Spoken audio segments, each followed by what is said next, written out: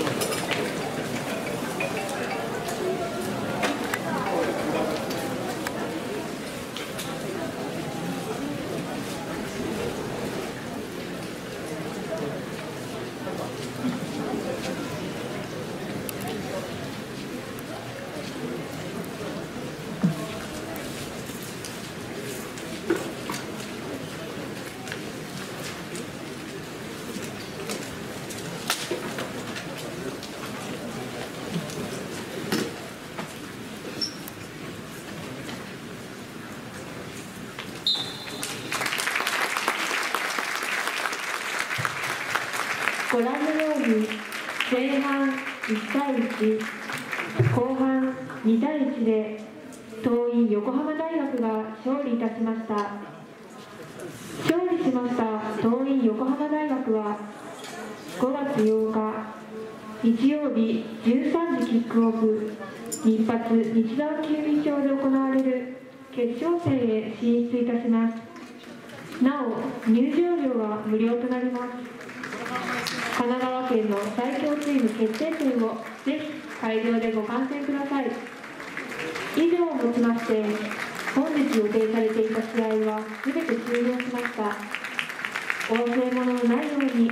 気をつけてお帰りください。